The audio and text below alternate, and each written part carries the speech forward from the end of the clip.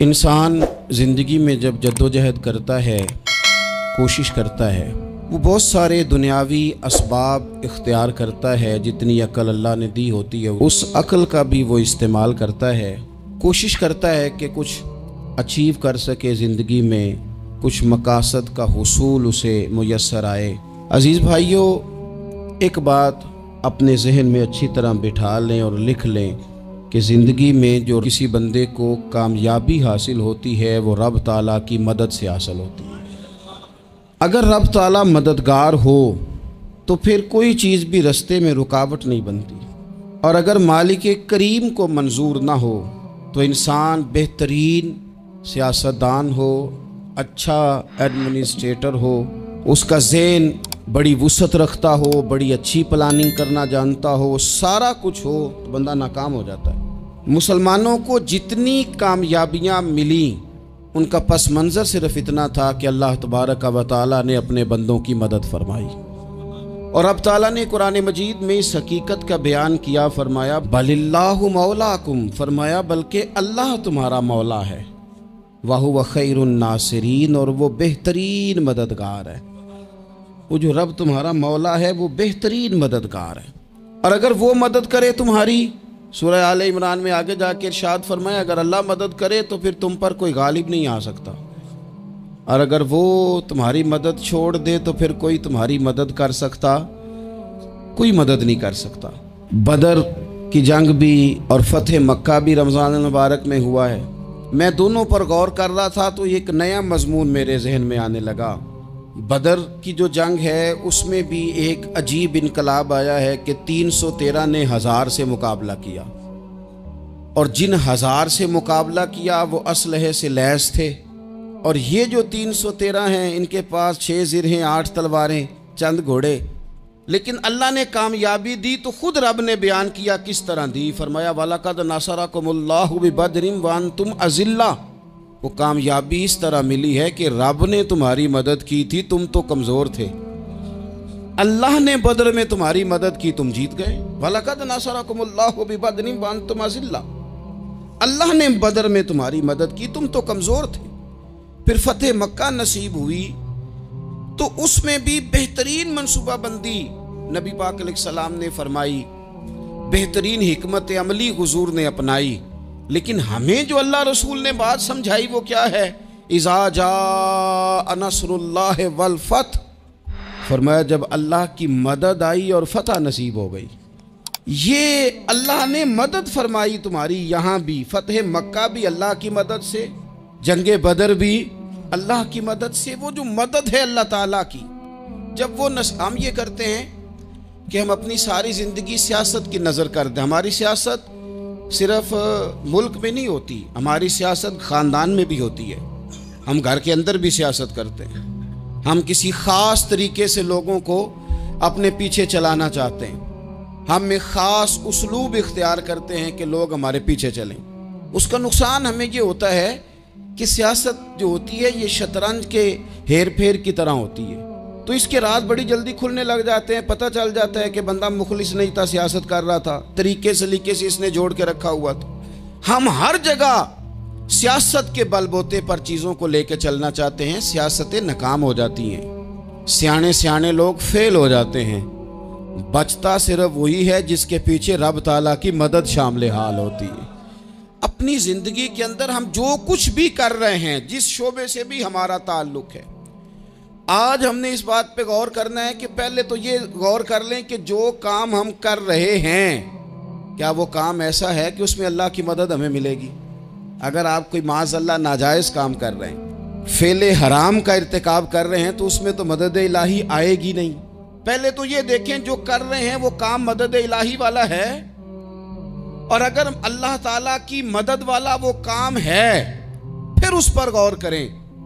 कि क्या हमने मालिक से मदद का सवाल किया है? हमें मदद मुयसर आ रही है। वो मैंने बुज़ुर्गों से एक बात सुनी थी, वो बड़ी याद रह गई। वो फरमाया करते थे, काबिलियत भी बड़ी चीज़ है, लेकिन कबूलियत सबसे बड़ी चीज़ है।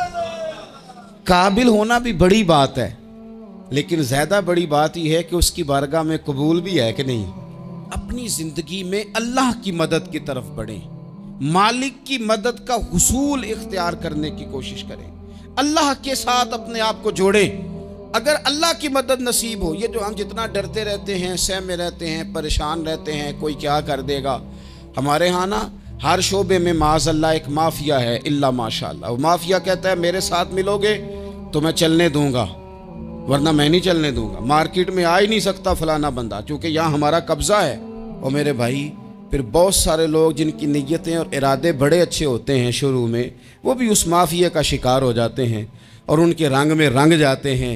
याद रखना, किसी शख्स की ब्लैकमेलिंग का कभी शिकार ना होना, कभी किसी की मीठी और मुसज्जा मुकफ़ा बातों का शिकार ना होना, कोई क्या कर सकता है अगर अल्लाह मददगार हो तो? जिसको रब करीम उठाना चाहे, उसे कोई गिरा सकता है? हम ये डरे डरे, सहम सहमे, परेशान परेशान, फैसला करने की ताकत नहीं, मुझे चलना चाहिए कि नहीं, उठना चाहिए कि नहीं, करना चाहिए उठ बाँध कमर क्यों डरता है? फिर देख खुदा क्या करता है। हज़रत अब्दुल्ला इबन अब्बास फरमाते हैं, मेरे नबी पाक सलाम ने मेरी तरबियत फरमाई। हुजूर ने मेरी तरबियत फरमाई। और महबूब पाक सलाम ने फरमाया, अब्दुल्ला याद रखना, ये नौजवान दोस्त मेरी बात लिख लें, परेशान लोग मेरी बात लिख लें। जिनके पास कुत फैसला नहीं, वो इस बात को लिख लें। हज़रत अब्दुल्ला इबन अब्बास फरमाते हैं, मेरे नबी पाक सलाम ने मुझसे फरमाया था, अब्दुल्ला, सुन, अगर सारी दुनिया मिल के तेरा कोई नफ़ा करना चाहे, कर नहीं सकती जब तक मेरे रब की रजा ना हो। और फरमाया, सारी दुनिया मिल के तेरा कुछ बिगाड़ना चाहे तो अब्दुल्ला बिगाड़ नहीं सकती जब तक रब करीम की हिकमत का तकाजा ना हो। लोगों से डरना, लोगों की तरफ़ देखना, माहौल देख के अपने राह का तयन करना, हर बंदे के ख्याल के मुताबिक ढलने की कोशिश करना, फलाना ना नाराज़ हो जाए, फलाना ना नाराज़ हो जाए, वो जिसने होना हो जाए, बस रब रसूल नाराज़ ना हो। अपनी ज़िंदगी में अपने मालिक को मौला जान के बल्लाह मौलाकुम, अल्लाह तुम्हारा मौला है भाऊ खैर नासरीन, वो बेहतरीन मददगार है। तवज्जो जब भी करें, रब की जानिब करें। अपने दिल का किबला दुरुस्त रखें, सोचों के जाविये सीधे रखें। मेरे भाई, मालिक जब बंदोबस्त कर देना, जब मालिक बंदोबस्त करते दे फिर ऐसा बंदोबस्त करता है कि लोगों के पास ना चारा नहीं रहता। हज़रत मरियम रदी अल्लाह तहा पाकबाज थी, मस्जिद में रही थी। पर मालिक की हमत के तकाजे बड़े अजीब है ना। फिर जनाब मरियम को अल्लाह ताला ने बग़ैर शोहर की औलाद अता कर दी। ये बात ही ऐसी थी। वो किसी ने कहा था कि मखलूक तो फनकार है इस दर्जा के पल भर में। संगे दरे काबा से भी असनाम तराशे। तुम कौन हो, क्या चीज़ है दागे कबाबी? लोगों ने तो मरियम पे भी इल्ज़ाम तराशे। तो लोगों ने कहा, किधर से ले आई बच्चा? तेरा बाप तो ऐसा नहीं था। कहाँ से ले आई? अल्लाह करे, मैं आपको समझा सकूँ, जरा अपने आप को वहाँ खड़ा करें कि एक पाक बाज औरत, पाक बाप की बेटी, तैयब माँ की बेटी, और अल्लाह के घर में परवरिश पाने वाली खातून, एक वो वक्त और एक ये वक्त कि उस औरत को कटहरे में खड़ा करके पूछा जा रहा है कि माज अल्लाह तेरी गोद में बच्चा जायज़ नहीं है, कहाँ से लाई है? अब खुद से सफाइयाँ बंदा कितनी को दे कितनी को वजाहतें करे। और मैंने तो अपनी ज़िंदगी में देखा है, ज़्यादा वजाहत देने वाले को भी लोग झूठा समझने लग जाते हैं। ज़्यादा वजाहत देने पर भी लोग कमज़ोरी का इजहार समझते हैं कि कमज़ोर पड़ गया आप सुलह की कोशिश करते हैं, सामने वाला बुजदिल समझ लेता है। ज़्यादा वजाहतें भी कमज़ोर कर देती हैं। अब हज़रत मरियम को कटहरे में खड़ा करके कहा, बच्चा किसका है? तो फिर खुदा बंदोबस्त जब करे, अल्लाह जब मददगार हो तो फिर हज़रत मरियम की गवाही दरख्तों से नहीं दिलवाई उसने, पत्तों से नहीं दिलवाई। फिर फरिश्ते नहीं भेजे। हज़रत मरियम कहने लगी, मुझसे ना पूछो, वो जो पंगूड़े में है, उसी से पूछ लो। उनसे पूछो ना, वो कौन है? पूछ लो उनसे, कर लो सवाल। उन्होंने कब पंगूड़े में चंद दिनों का बच्चा, ये ये जवाब देगा। मददगार था रब। उनकी बरात का ऐलान करना था मालिक ने। और जब मालिक ऐलान कर दे, जब मालिक तेरी सफ़ाई देना चाहे, जब मालिक तुझे दुनिया के सामने निखारना चाहे तो पंगूड़े में लेटे हज़रत ईसा बोल के कहने लगे, इन्नी अब्दुल्ला आतानी अल किताबा। फरमाया, मैं अल्लाह का बंदा हूँ, रब ने मुझे किताब अता करके नबी बना के दुनिया में भेजा है। मैं अल्लाह का बंदा हूँ, किताब लेके आया हूँ, नबी बन के आया हूँ। फिर पंगूड़े से ऐलान हो गया। फिर बच्चा बोल पड़ा और ये एक दफ़ा नहीं बात हुई। ये बनी इसराइल में एक जुरैज नाम के शख्स भी थे जो नमाज़ पढ़ रहे थे। बाज ने लिखा है, नफल नमाज़ थी। अम्मा ने पुकारा तो आए नहीं। तो माँ के मुँह से निकल गया, तू इतनी देर तक मरेगा नहीं, जब तक किसी बेहया औरत का मुँह ना देख ले। तो वो इबादत गुजार थे, लेकिन लोगों ने उनकी इबादत, रियाजत, परहेजगारी को नहीं देखा। बस एक औरत को भेज के इल्ज़ाम लगवा दिया। वो औरत आया जाया करती थी, अब आ जाती हैं औरतें। मसला पूछने की नीयत से भी आ जाती हैं। माहौल में कुछ जगह ऐसी भी हैं जहाँ औरतें दम कराने के बहाने आ जाती हैं। वो खातून आती जाती थी। उस खानका पे आस्ताने पे ये बुखारी में मौजूद है। पर उसने कहा, मेरी गोद में जो बच्चा है, ये इन्हीं का है। मुझे बताएँ कैसे बंदा वजाहत दे? हालात ख़राब हो गए। लोग कुटिया जलाने लगे। माहौल और तरह का बन गया। मेरे नबी पाक सलात सलाम फरमाते हैं, फिर उस रब के बंदे ने कहा, मालिक तो करीम है। तेरी मशीयत का तकाजा आया जो मेरी माँ ने जुमले बोले थे, पर अब मैं वजाहत देने के काबिल नहीं रहा। अब तू ही कर्म करेगा तो दरवाज़ा खुलेगा। तो वो चंद दिनों का बच्चा पंगूड़े में बोल के कहने लगा, मैं इस दरवेश का नहीं, मैं तो फलाने चरवाहे का बच्चा हूँ। वो जो बकरियाँ चराता है, रब की मदद को पुकारें। अपने साथ अपने मालिक की मदद को शामिल करें। थोड़े रिस्क पर भी गुजारा अच्छा होने लग जाएगा। सारे लोग आपको गिराने की तदबीरें कर रहे होंगे और मालिक आपको इज्जतें अता फरमा देगा। उसकी बारगाह से हिकमत का तकाजा और हो जाएगा। हमने सारी ज़िंदगी लोगों को राज़ी करने में गुजार दी। सारी ज़िंदगी बुढ़ापा आ गया, बच्चों को पालते। और बच्चों ने आखिरी उम्र में कह दिया, अब्बा अगर कोई ढब का काम कर लेते तो आज हमारे दिन भी फिर ना जाते। सारी ज़िंदगी गुजार दी बहन भाइयों को राज़ी करने में। सारी ज़िंदगी गुजार दी जिम्मेदारियाँ उठाने में। उनको निन्यानवे दफ़ा दिया, एक दफ़ा नहीं दिया तो उन्होंने कह दिया, तूने तो कभी दिया ही नहीं। तू था ही नहीं। सारी ज़िंदगी मोहल्लेदारों, इलाके वालों को राज़ी करने में गुजार दी। और मैंने ऐसे लोग भी देखे, दीन के लिए वक्त गुजारा।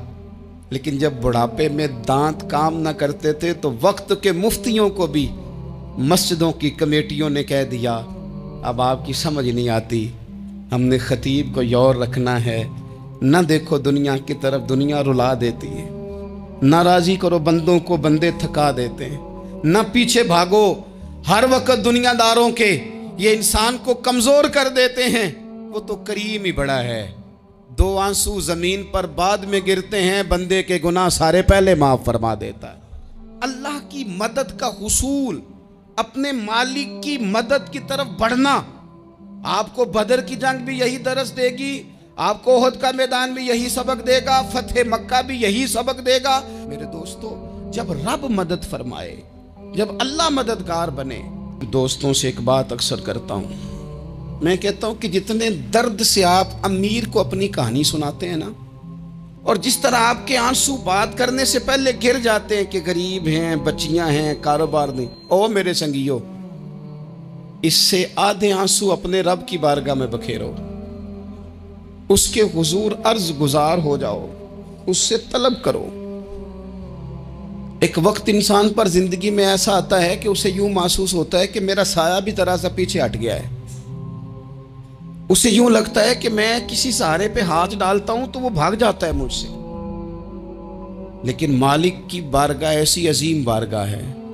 रब रसूल के आस्थाने इतने बड़े हैं कि आप जब वहाँ कशकोले तलब दराज करते हैं तो झोली फैलाने में देर लगती है, उनको भरने में तो कोई देर नहीं लगती। हम ना, हमने अपना सोच का किबला ही दुनिया को बना लिया है। ये जो अल्लाह वालों की मदद है, ये तो है नहीं अल्लाह ही की मदद है।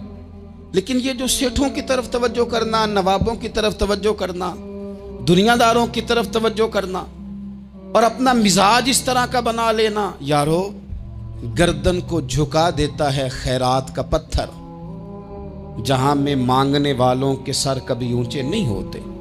और इकबाल कहते हैं, गैरत है बड़ी चीज़ जहाने तगो दो में। पहनाती है ये फ़क्र को ताजे सरदारा। मैं अर्ज़ करूँगा कि अपनी आप जब तवज्जो का किबला अल्लाह रसूल को बनाएँगे तो रब फरमाते व यरजुक मिन हैसुला तसिब मैं ना तुझे वहाँ से रिस्क दूँगा जहाँ से कभी तेरा गुमान भी नहीं गया होगा। यहाँ से भी मिल सकता है। तूने सोचा भी नहीं होगा। बुखारी शरीफ में हदीस है हज़रत जाबिर इबन अब्दुल्ला फरमाते हैं, नबी पाक सल्लल्लाहु अलैहि वसल्लम ने ना तीन सौ लोगों का एक लश्कर रवाना किया, किसी मुहिम के लिए, किसी जिहाद के लिए। हज़रत अबू उबैदा बिन जर्रा रदी अल्लाह तु अमीर लश्कर थे। फरमाते, गुर्बत इतनी ज़्यादा थी, भूख इतनी ज़्यादा थी कि एक एक खजूर दिन में एक वक्त खाने को मिलती थी। और एक कुछ दिन ऐसे आए कि अब खजूर भी नहीं मिल रही। फरमाते, इतनी ज़्यादा भूख लगी मुजाहिदीन को तीन सौ बंदा। पत्ते खा के गुजारा होने लग गया। ये बुखारी में मौजूद है। आप फरमाते हैं कि दरिया के किनारे हमारा पड़ाव था, ठहराव था। जब भूख से निढाल हो गए ना, वह यरजुक मिन हईसुला तसीब अल्लाह वहाँ से रोज़ी देता है, गुमान भी नहीं होता। फरमाते हैं, एक मछली अल्लाह ताला ने दरिया के किनारे भेजी। फरमाते हैं, वो थी तो मछली पर पहाड़ जितनी थी। बुखारी में लफ्ज हैं। हज़रत जाबिर इबन अब्दुल्ला रदी अल्लाह ताला फरमाते हैं, तीन सौ आदमी अठारह दिन तक उस मछली को खाते रहे, मछली खत्म ही नहीं हुई। मछलियाँ नहीं, मछली। कहते हैं, अट्ठारह दिन तीन सौ बंदा खाता रहा, मछली खत्म ही नहीं हुई। और फरमाते हैं कि उसकी हड्डी निकाल के कांटा कहेंगे आप अपनी ज़ुबान में। कहते वो निकाल के ना तो उसको खड़ा किया ना जब तो ऊँट कजावे समेत उसके बीच से गुजर जाता था। दो उसके कांटे जोड़े। फरमाते हैं, वो उसका गोश्त हम खाते थे और उसकी चर्बी बतौर तेल के हम जिस्मों पे मलते थे, बीमारों को उससे सुकून आता था, तंदुरुस्ती शिफा होती थी। फरमाते हम खाया भी हमने और कुछ लेके हम मदीने भी गए। और कुर्बान जाए, नबी पाक ने भी उसमें से खाया। हमने अर्ज़ की गुजूर ये मुअम्मा क्या है? ये माजरा क्या है? तो महबूब ने फरमाया, तुम्हारे पास गजा नहीं थी, रब ने तुम्हारे लिए बंदोबस्त किया है। अल्लाह ने तुम्हें दिया है। मकान शुरू कर लिया, एक साहब ने वो मकान बनाने लगे। आप वो हिसाब लगा रहे हैं, कहते हैं, मेरे पास इतने पैसे हैं, इतने मैंने फलाने दोस्त से कहना है, उसने दे देने, इतने फलाने रिश्तेदार से कहना है, उसने दे देने, इतने फलाने से कहना है, उसने दे देने। ये सारी कापी बना के मकान शुरू कर लिया। जो रोज़ कहता था ना, कोई हुक्म हो जाते दसी। सबसे पहले उसको कहा, मियाँ, पैसे चाहिए वो कहता हो हो हो, कल ही मुंडा टोरिया कदे तू परसों दस दाते लब जाने सन। मैं आपको अपने तजर्बे की बात बता रहा हूँ। जिन लोगों का ख्याल होता है ना कि आप स्टार्ट करें, फलाना काम हम आपके साथ हैं। अल्लाह का ही कोई निज़ाम है, वो बिल्कुल भी नहीं साथ होते। लेकिन ऐसा नहीं है कि कोई साथ नहीं होता। अल्लाह ताला बड़े इसबाब पैदा करता है। वहाँ से देता है, जहाँ से गुमान भी। हमारा ये जेन बन जाता है, हम सारी अपने हिसाब से चलते इतने रिश्तेदारों से, इतने। कौन आपके साथ चलेगा? सवाल ही नहीं पैदा होता। ये सारे काम छोड़ के सबसे पहले दो रखते पढ़ो। अपने रब की बारगाह में, रसूल कायनात की बारगाह में गुजारिशात और इस्तगा से पेश करो। वहाँ से खैर तलब करो। दुनियादार क्या देंगे? क्या दे सकते हैं? क्या हैसियत होती है किसी अल्लाह कहता है, वहाँ से दूँगा। तो जो अल्लाह माल दे, वो लेना चाहिए कि रिश्तेदारों का माल देखना चाहिए? जो अल्लाह दे, वो लेना चाहिए कि सेठों नवाबों की जेबें देखनी चाहिए? जो अल्लाह दे, वो कबूल करना चाहिए या देखना चाहिए? कौन सा आदमी कहाँ पहुँच गया? छोड़ो! अपनी मट्टी पे चलने का सलीका सीखो। किसी के संग मर मर पे चलोगे तो फिसल जाओगे। फिसल जा। इस पर एक और बात अर्ज़ कर दूँ सही बुखारी से। मुस्लिम से एक और बात। कुछ चीज़ें ऐसी हैं जिनसे अल्लाह की मदद आती है, मदद मिलती है। एक चीज़ उनमें से ऐसी है जिससे बहुत मदद नाजल होती। वो है कि जब रब आपको देना तो फिर आप भी उसके रस्ते में दें। फिर मदद आती है, फिर और आता है। बुखारी, मुस्लिम में हदीस है। ये ज़्यादा ही तवज्जो तलब अमर है, इस पर आप गौर करेंगे। हज़रत अबू हुरैरा फरमाते हैं कि नबी पाक सलाम ने फरमाया, एक शख्स ने बादलों के अंदर से आवाज़ सुनी कि फलां आदमी का खेत और बाग खुश्क हो गया है, वहाँ बरसो और उसके खेत को सैराब करो। वो बड़ा हैरान हुआ कि बादल से आवाज़ आ रही। फिर उसने देखा कि एक पहाड़ी पर बारिश हुई। वो बादल वहाँ बरसा। फिर नालियों से होता हुआ पानी एक तरफ़ चला तो जिसने आवाज़ सुनी थी, हुजूर बयान कर रहे हैं। वो भी पीछे पीछे चला के पानी किधर जा रहा है। उसने जाके देखा कि एक मकाम पे एक बाग को वो पानी लग रहा है और एक आदमी वो पानी लगा रहा है। उसने उससे पूछा, तेरा नाम क्या है? उसने कहा, क्यों? कहने लगा, बता ना। उसने नाम बताया तो कहने लगा, यही तो वो नाम है जो मैंने बादलों के अंदर से सुना है कि फलां के खेत को पानी दे दो उसने कहा, यार, तू क्या अमल करता है कि स्पेशल तेरे लिए बारिश बरसे? ये बुखारी पढ़ रहा हूँ, सियासता से अदीस अर्ज़ कर रहा हूँ। उससे पूछा, तू क्या काम करता है? कि जनाब, अल्लाह तबारक का वाली का हुक्म करम आया कि खास तेरे लिए पानी बरसे और तेरे खेत को सैराब करे। तो उसने कहा, छोटा जिम्मेदार हूँ, पर जब फ़सल उगती है तो तीन हिस्से करता हूँ। एक हिस्सा अपने बाल बच्चों पे बहन भाइयों पे खर्च करता हूँ। एक हिस्सा पूरा और एक हिस्सा दोबारा काश्तकारी पे लगाता हूँ और तीसरा हिस्सा खालिश मैंने मिस्किनों, यतीमों और गरीबों के लिए रखा हुआ है। वो जो तीसरा हिस्सा, अल्लाह करे आप समझे, वो रब के बंदों पे तीसरा हिस्सा खर्च करता है ना? तो करीम मालिक ने फरमाया, जहाँ से गरीब का हिस्सा जाता है, वो खेत खुश्क नहीं रहना चाहिए। वो जहाँ से मिस्कीन रोटी खाते हैं, वो खुश्क ना रहे। जहाँ से यतीमों को कुछ आता है, कहीं उसकी फ़सल रह ना जाए। मैं और आप भी अगर अपने माल में मिस्किनों, यतीमों, गरीबों के हिस्से रख लेंगे तो फ़सलें खुश्क नहीं रहेंगी। उनके अंदर ताजगी आएगी, नूर आएगा, करम आए खास कर खुदा की रहमत बरसेगी। मदद अल्लाह से चाहें।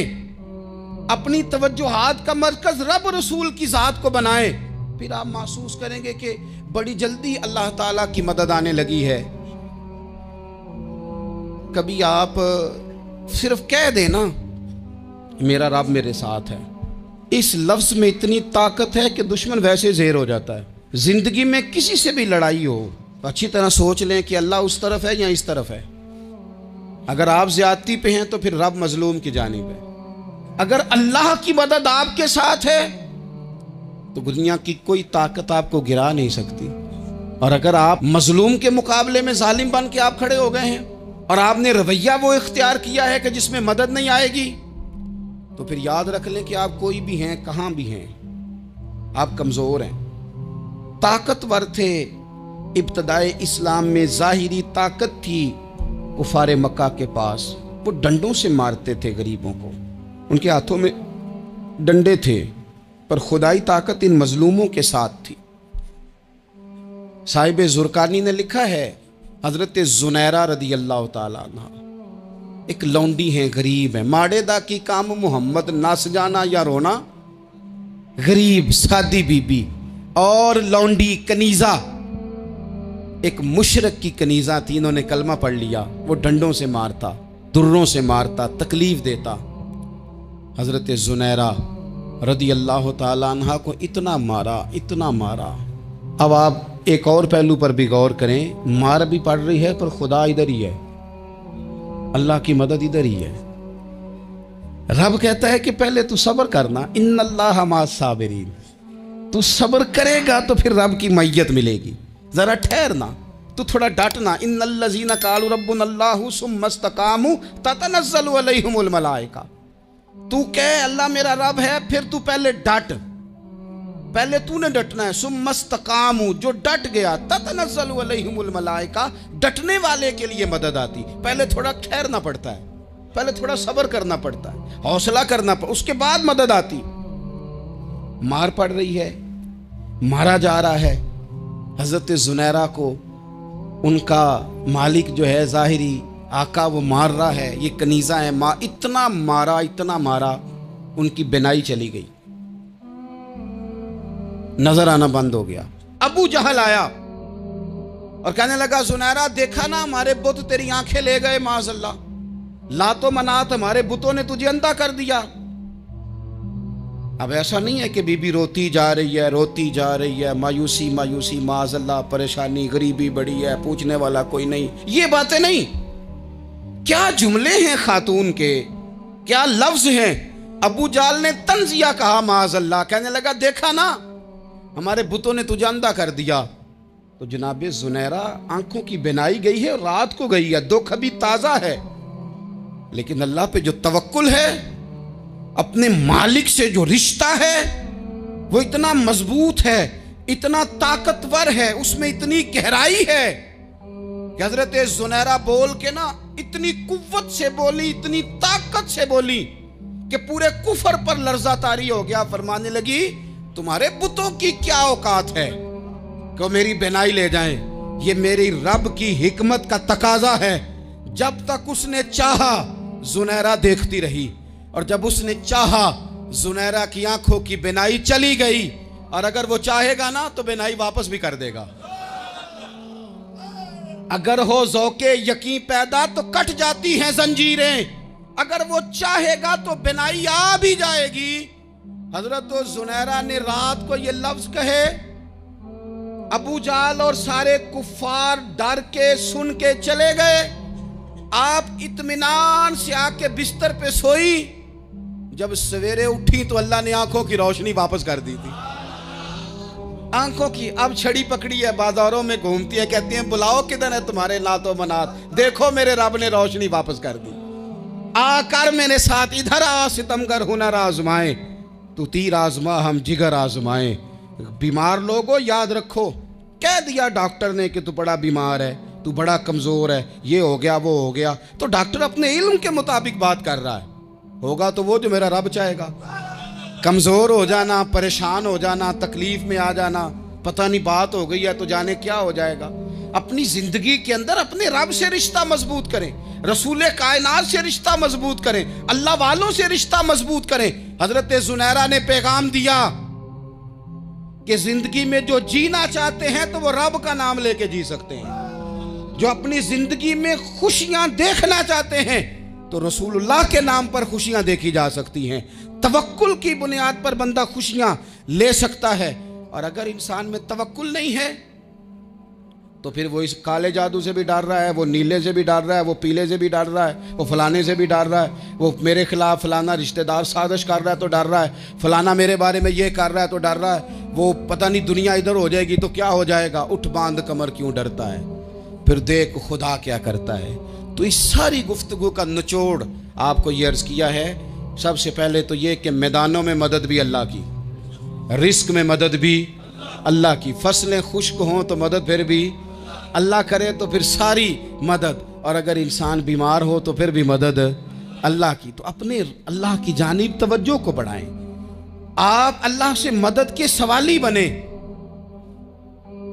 तिरमिजी की एक हदीस है। मैं आपको ज़िंदगी का तजर्बा बताता हूँ कि जब मैं बड़ा परेशान होता हूँ तो ये वाली रवायत खोल लेता हूँ। मज़ा देती है। मेरे नबी पाक ने फरमाया, अपने दुख सेठों नवाबों को ना कहना। मालदारों का ना कहना, वरना अल्लाह तुम्हें कभी गनी नहीं करेगा। फरमाया, अपने दुख अपने रब की बारगाह में अर्ज़ करना, जल्दी करे या देर से करे, अल्लाह तुम्हें लोगों से बेनियाज कर देगा। अल्लाह तुम्हें गनी कर देगा। रात को बैठो ना उसकी बारगाह। उसे दुखड़े सुनाओ। छोटी छोटी बातें हुजूर ने फरमाया, नमक भी मांगो तो रब से मांगो। छोटी छोटी बात से शुरू करो ना। जब बंदा शुरू करता है ना छोटी छोटी चीज़ें छोटी छोटी चीज़ें तो बड़ी सारी चीज़ें, ये इस तरह होता है जैसे बंदा रब से गुफ्तगु कर रहा है। मालिक मुझे ये चाहिए, मालिक मैं यहाँ कमज़ोर हूँ, अल्लाह मैं यहाँ परेशान हूँ। आप ये करके तो देखें, लंबी लंबी दुआएँ मांग के तो देखें, उसके हुजूर जोड़ के तो देखें। आप देखेंगे राहत कितनी है, सुकून कितना है।